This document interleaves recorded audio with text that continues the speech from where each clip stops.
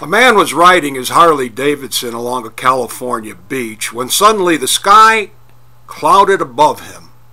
And in a booming voice, the Lord said, Because you have tried to be faithful to me, I will grant you one wish.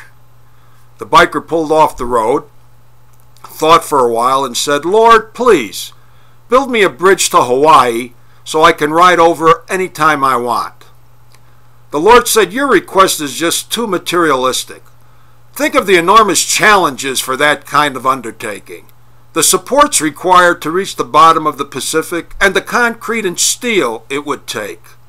I can do it, but I find it a little hard justifying your materialistic uh, desires. Please take a little time and think about it.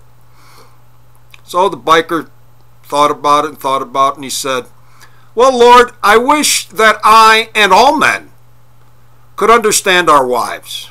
I want to know how she feels, inside and out.